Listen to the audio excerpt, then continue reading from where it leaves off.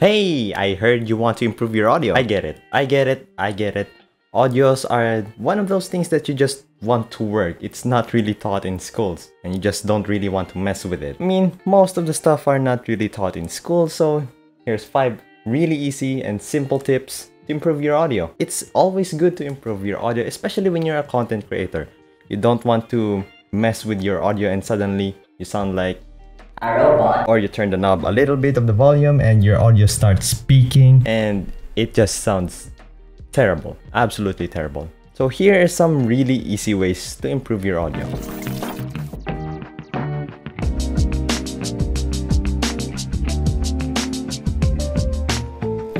Hello everyone, my name is Irol and I make YouTube videos about video editing, content creation, streaming, and everything in between, I guess. and yes, I also stream on YouTube on my other channel, which is Oddknott Plus. It's a gaming channel, and of course, because I love games. Let's just say that. And lately, I've been on the space for quite some time now, and I've had some issues with my audio that I have experienced myself, and I want to teach you guys what are things that you can improve or you know elevate the quality of your audio. So in this video we're gonna talk exactly about that. So without further ado here's tip number one. Make sure your mic is facing you. I'm gonna be honest this happens way too often especially to streamers and content creators even myself. Because microphones have this thing called polar patterns. It's not that complicated to understand but basically the most common one are omnidirectional and cardioid. Think about it as shapes that in a specific direction they can pick up signals or in this case volume or audio your voice not every side of the microphone can pick up your voice equally especially when you're using this thing this thing is a cardioid microphone it picks up most of the sound on the front some of it on the back but more of the echoes on the back here let me let me demonstrate um how do i how do I do this? Uh, let me turn my microphone. This is the back of my microphone now, and suddenly I don't sound so good. And when I turn it back in the front, it would sound a lot better. I hope. I hope the audio picked it up or the video picked it up. And most of the time, streamers and content creators don't really know the orientation of their mic. And it's really easy to know which is which just just check it. Take a little bit of your time to listen to yourself. Usually it's on the front side of the condenser microphone and some other microphone is usually on the top, like the very infamous Shure SM7B. It's on the top. I myself have a condenser mic. It's called Fifine. Fifine. It's it's a good mic. Fifine K669B. I have no idea how to pronounce it. It's really awesome. By the way, I'm not sponsored, but you should definitely check this thing out if you're planning to buy a microphone. It's really good for new content creators such as myself. I'll leave a link down in the description if you're interested.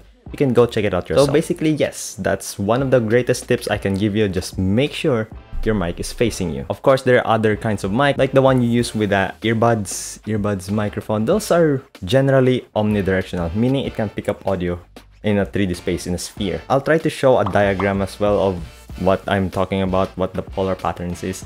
But basically, everything around that area of the polar pattern, that is where the sound can be picked up by that specific microphone. Right, moving on. Tip number two is the closer the mic, the better. I had this issue when I was first streaming. I just don't want the mic to be seen by the camera, so I decided to move it away. And as a result, they can't hear me as well.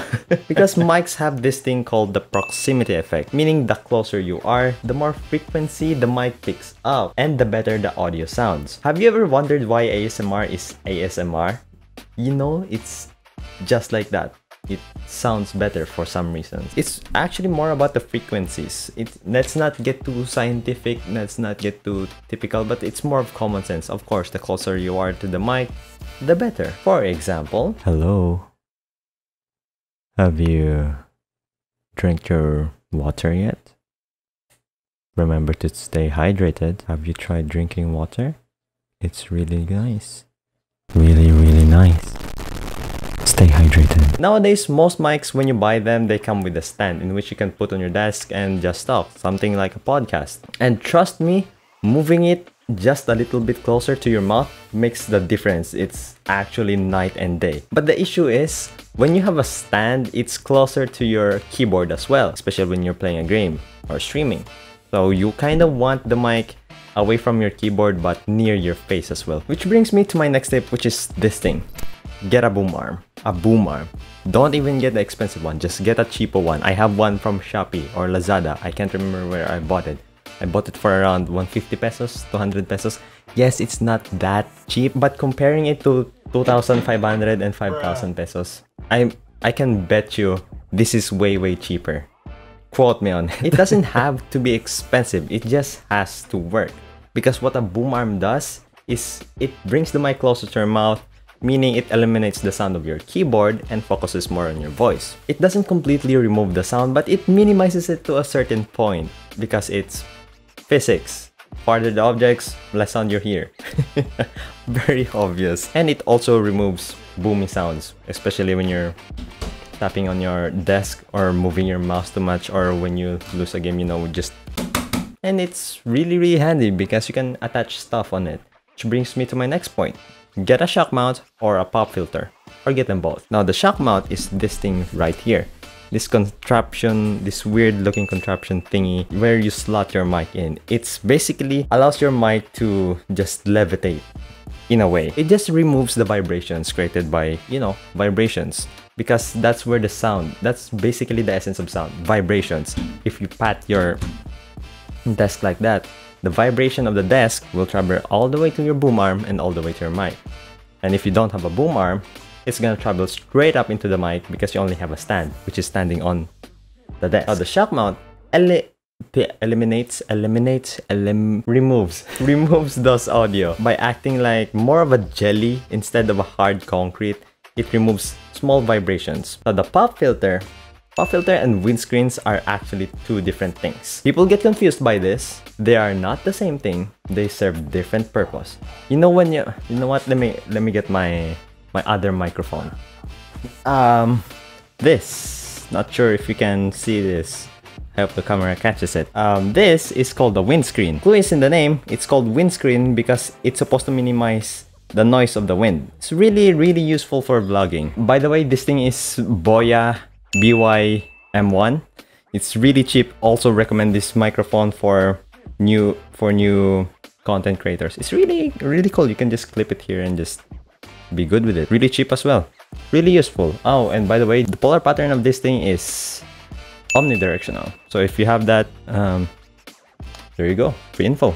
but this thing is a pop filter. There's a difference between a windscreen and a pop filter. While the windscreen protects the audio from the noise of the wind, pop filters reduces the pops, or in this case, the plosives. What exactly are plosives? Well, Plosives are the P, the B, the T, D, K, and G. Those letters produce a quite an explosive sound. They have some force or pop when you try pronouncing it. Uh, if you don't believe me, try it for yourself. You would really notice it if you put your hand in front of your mouth and then say P, B, T, D, K. There's there's air like it's the air's rushing through it that's why. And the pop filter reduce those kinds of plosives. It reduces that awkward plosive sound. Let me demonstrate. Um wear some headphones because this is where you actually get to notice really notice the difference when you're wearing headphones and this is gonna be quite uncomfortable. Peter piper picked a peck of pickled peppers. A peck of pickled peppers peter piper picked. Peter piper picked a peck of pickled peppers. A peck of pickled peppers. Peter Piper picked. There you have it. I'm not sure if the microphone picked it up. I'm pretty sure the microphone peaked when I removed the pop filter. That's why these things are really good. It's really, really handy. It will improve your audio a lot. You can't really notice it when you're on your phone, on the speakers, unless you have really good speakers like these phones these days. I have a really old one, so... And finally, I'll bring it to my last tip, which is audio signal processors. I know that sounds like a lot, but basically these are your EQs, your compressors, your noise gates, your limiters, your expanders, etc, etc, Yeah, these are basically the things that you can process the audio on your microphone. It's really, really handy, especially when you know how to use them. If you don't, well then, stay subscribed and hit that notification bell because I will teach you how to in the easiest and simplest way as I can. But here's a short rundown on how these things work. Let's say EQs or equalizer. let's say there's a piano, right? Now, let's represent as the piano as your voice. Every time you speak, imagine hitting all of the keys on the piano, like all 88 keys of the piano. Just slam it down and then you produce your own voice. Now, the way the EQ works is minimize the other sounds of the piano.